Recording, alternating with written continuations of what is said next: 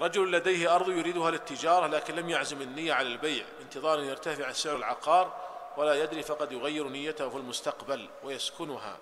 هل يزكيها؟ هذه الأرض لا زكاة فيها لأنه لم يجزم بنية البيع بل هو متردد بين السكنى والبيع. فالأرض التي لا ينوي الإنسان بيعها بنية جازمة لا زكاة فيها. إذا كان ينوي أن يبني عليها مسكنا لا زكاة فيها. يبني أن يبني عليها استراحة لا زكاة فيها. ينوي أن يبني عليها عقار لتأجيره لا زكاة فيها. متردد في النية تارة يقول أريد أن أبني وتارة يقول أريد أن أبيع لا زكاة فيها.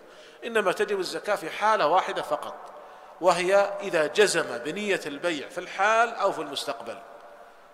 فتجب فيها الزكاة.